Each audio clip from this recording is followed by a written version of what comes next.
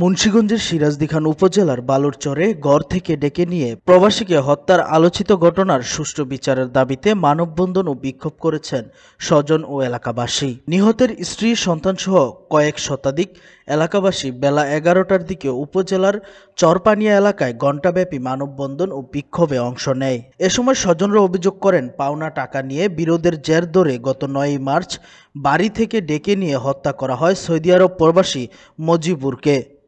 স্বামীকে হারিয়ে তিন সন্তান নিয়ে অসহায় জীবনযাপন করছেন স্ত্রী রিনা বেগম।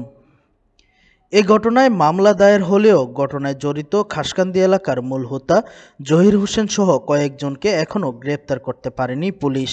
বরং কয়েকজন নির্দোষকে গ্রেফতার করে মামলায় ভিন্ন খাতে প্রবাহিত করার চেষ্টা করছে।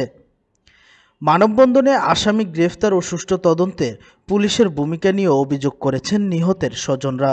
আমার আব্বু জহিরের কাছ থেকে চল্লিশ লাখ টাকা পেত। এখন আম- আব্বু যখন যখন তার কাছ থেকে টাকাটা চাই চাইছে তখন আব্বুকে বাইরে থেকে ডেকে নিয়ে নির্মলভাবে হত্যা করা হয়েছে।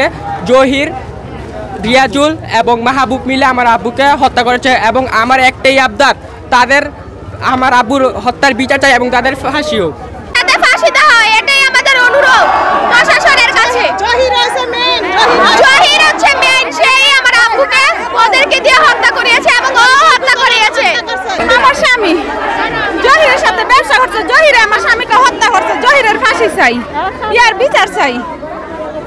সব আসামি ধরছে পুলিশ ধরছে দুজন ধরছে। পুলিশ আমার কথাই শুনে না। দুজন জহিরের কথা পুলিশ থানার অফিসার এনে হুমকি দেয় আমারে। জহির জহিরের এত টাকা পয়সা জহির এই কাম না।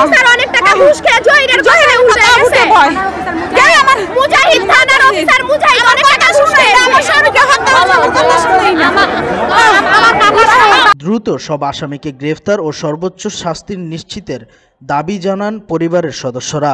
পরে একই দাবিতে এলাকায় বিক্ষোভ করেন স্বজন ও এলাকাবাসী। গত নয়ই মার্চ বাড়ি থেকে বের হয়ে নিখোঁজ হওয়ার পর দশই মার্চ চরপানিয়া এলাকায় একটি ক্ষেত থেকে প্রবাসী মজিবুরের ক্ষতবিক্ষত লাশ উদ্ধার করে পুলিশ। এ ঘটনায় নিহতের স্ত্রী রিনা বেগমে বাদী হয়ে সিরাজদিখান থানায় হত্যা মামলা দায়ের করেন। এ ঘটনায় কয়েকজনকে গ্রেফতার করা হলেও দরাছোয়ার বাইরে অভিযুক্ত Zahir Hossain. Rahid Hossain, news seven dot TV, Munshiganj.